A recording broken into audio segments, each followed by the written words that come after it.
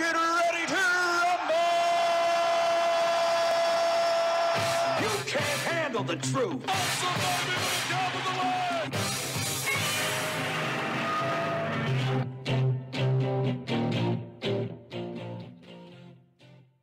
Okay, so Elon Musk has a controlling interest in Twitter.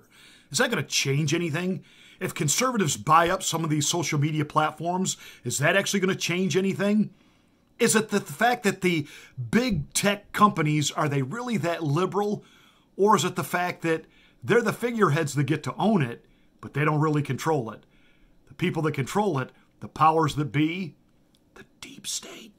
Could it be maybe they're the ones that are really setting the agenda and controlling the narrative, which is why we can't talk about certain topics that I can't even talk about here. So you got to come to Rumble because we're going to answer all kinds of questions today, like is Zelensky a good guy?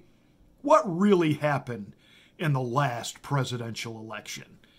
Just some stuff for you to consider, but you can't watch it here. You got to come here. You got to come to Rumble. I'll see you there.